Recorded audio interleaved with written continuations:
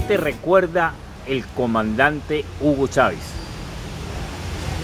Vivencia. Momento histórico. Ahí estuve yo. Arco de válvula. Rectorado. El fuerte Paramacay. Los F-16. A Chávez lo vimos fue después. Como a las otras 4, 5 horas, 4 horas. Cuando se presentó por la televisión. Pero ya nosotros habíamos transitado ese camino y estuvimos en la lucha y sus ideas.